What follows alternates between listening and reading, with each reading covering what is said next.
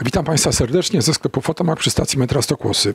E, proszę Państwa, e, od e, jakiegoś czasu nie ukazywały się książki z serii Biblioteka Historii Gospodarczej Polski. Stało się tak dlatego, że no, sprzedaż tej serii niestety trochę siadła. I ja, ponieważ jest to jedno z moich ukochanych dzieci, i bardzo jestem do niej przywiązany, zarówno do szaty graficznej, jak i do treści. I nie lubię rezygnować z niczego. To jest może wada, że ja nie lubię z niczego rezygnować. Postanowiłem, że wydam kolejny tom, a pewnie też wydam jeszcze następny w trochę mniejszym nakładzie. Proszę Państwa, wiem, że trudno przekonać jest ludzi do tego, żeby zajmowali się tego rodzaju literaturą. Ja nie jestem w stanie wytłumaczyć niektórym osobom, jaki profil ma moje wydawnictwo, dlatego że a czy ty wydajesz książki popularno-naukowe, a czy ty wydajesz eseje, a czy ty wydajesz literaturę piękną, co ty w ogóle wydajesz? Proszę Państwa, taki krótki wstęp. Y, jeżeli ktoś wchodzi na rynek i zamierza sprzedawać przepraszam, nie będę pił Coca-Coli przed nagraniem. Potem różni ludzie mówią, masz chyba reflux. Nie mam refluksu, piję Coca-Colę. E, proszę Państwa, jeżeli ktoś wchodzi na rynek, który jest posegmentowany i ta segmentacja rynku jest zrobiona po to, żeby ułatwić sprzedaż wielkim wydawcom i wielkim pośrednikom, nie można lokować swoich produktów w tych segmentach, które proponuje rynek, bo nikt ich tam nie zauważy. E, od tego nie można zacząć działalności e, wydawniczej. Trzeba mieć swoją ofertę i swoje segmenty. E, stąd wziął się projekt baśni Jak Niedźwiedź, stąd wziął się projekt y, y, kwartalnika Szkoła Nawigatorów, stąd wzięły się y, inne projekty, także Biblioteka Historii Gospodarczej Polski. I ludzie mówią, niektórzy, ci, którzy nie znają bloga, nie przychodzą do Szkoły Nawigatorów czytać tych treści, ludzie mówią, bo my nie rozumiemy po co ty to robisz, y, bo nam się to z niczym nie kojarzy. No właśnie na tym to polega, proszę Państwa. To jest ryzyko. Y, uważam, że należy je podjąć i że to jest słuszna droga, bo jeżeli chciałbym wydawać to, y, co decyduje o sprzedaży na rynku zdominowanym przez wielkich wydawców i wielkich pośredników, to bym przepadł. Ja oczywiście będę to robił, ale z pewnym określonym, e, z pewną określoną intencją. Natomiast ja muszę mieć swoje segmenty, e, swoje treści, których na tamtym rynku nie ma, bo tylko w ten sposób mogę przyciągnąć czytelników z tamtego rynku do siebie. Oczywiście, jak mówię, jest ryzyko, ale to ryzyko warto je podjąć. Oczywiście jestem chyba jedyną osobą, która takie ryzyko podejmuje, bo cała reszta usiłuje się wpasować e, w jakieś segmenty. No czasem za to płacę tym, że, że się nakład sprzedaje trochę wolniej.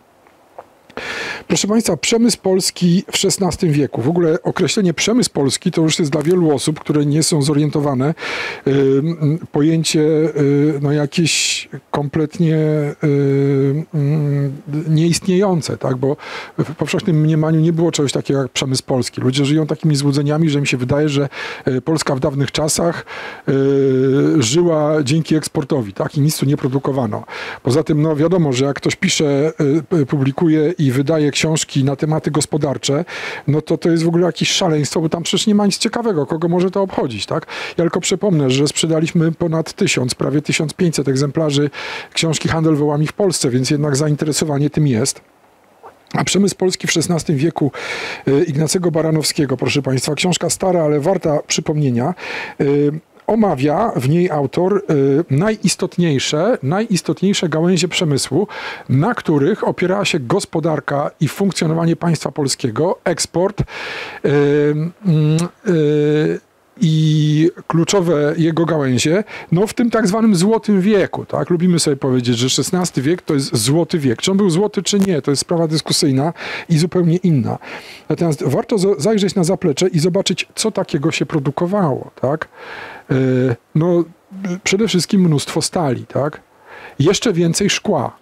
To jest zaskakujące. Ja ostatnio pisałem przy okazji mojego pobytu na weselu e, u Rafała, że, e, że wysłuchałem interesującej bardzo pogadanki o współczesnych hutach szkła. No więc proszę Państwa, ta tradycja produkcji szkła w Polsce jest stara i tego szkła w Polsce produkowano zawsze bardzo dużo. Bardzo dużo, głównie z myślą o eksporcie. Tak się też dzieje dzisiaj.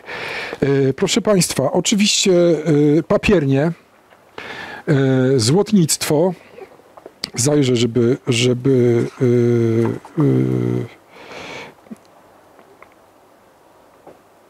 Biała broń, iglarstwo jako osobny, osobny dział przemysłu, no bo wiadomo, że nie było maszyn y, dziewiarskich, więc iglarstwo było y, istotną, istotną gałęzią wytwórczości, dlatego że od, od ilości igieł zależa, zależała ilość y, produkcji tkanin, ilość produkcji konfekcji, która nie wyglądała tak jak dzisiaj, to znaczy nikt nie zakładał pod koszulki, nie wyruszał w tym na miasto, tak jak ja, zarzuciwszy coś na siebie jeszcze, ale ubrania były skomplikowane, składały się z wielu części.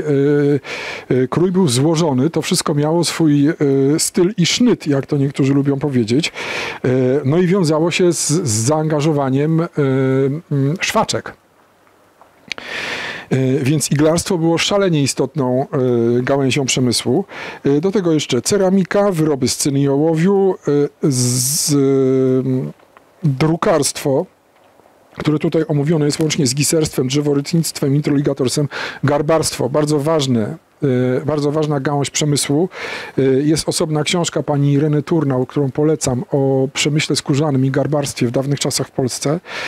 Y, wszystko, co dotyczyło, bo ten podział jest taki, jakby to powiedzieć, realny, to znaczy użytkowy.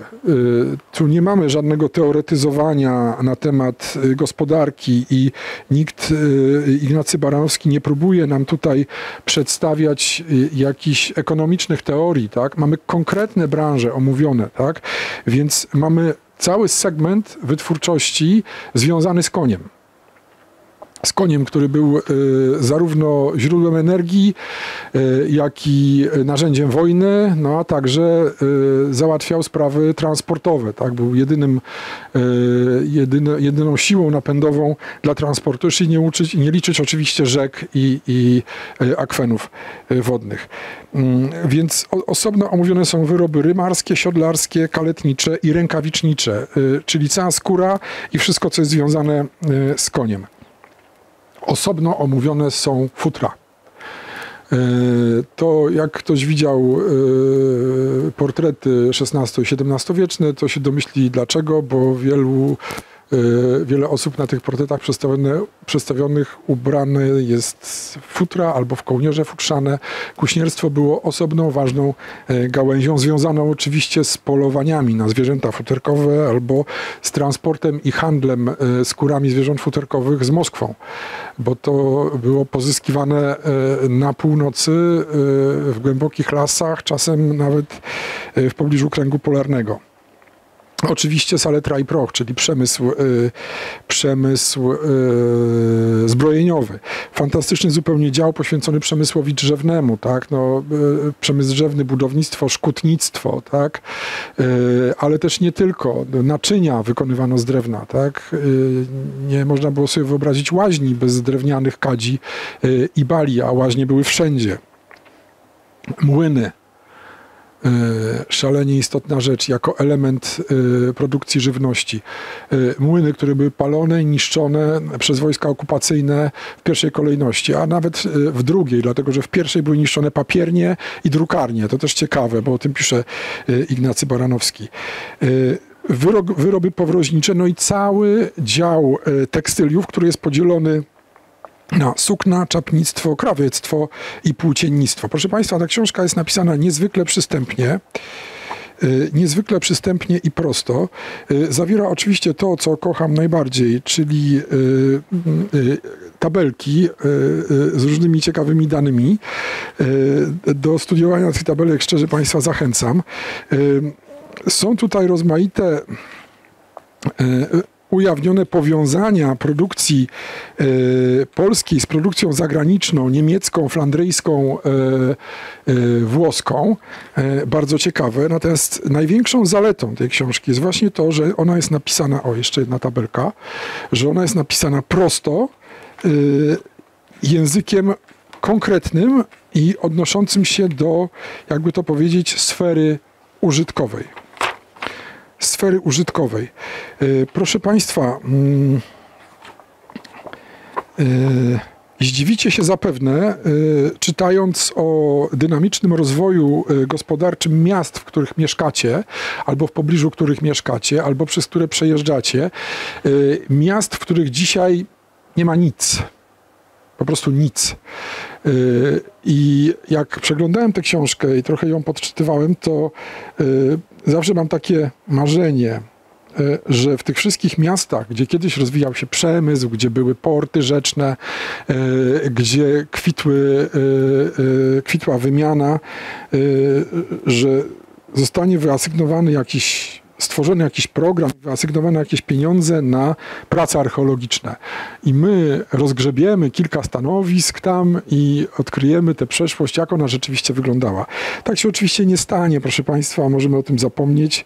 Y, więc to, nam, co nam pozostaje, to y, trochę sentymentalne studia nad potęgą gospodarczą Polski w XVI wieku, do czego ja serdecznie Państwa zachęcam i obiecuję, że może nie zaraz, bo trzeba będzie na to trochę poczekać, aż się trochę tych y, książek sprzeda i znikną one z magazynu, ale na pewno y, kolejna książka z serii gospodarczej będzie. Biblioteka Historii Gospodarczej Polski, Ignacy Baranowski, Przemysł Polski w XVI wieku. Bardzo dziękuję Sebastianowi za przygotowanie tej książki. Dziękuję Państwu. Do usłyszenia, do następnego razu.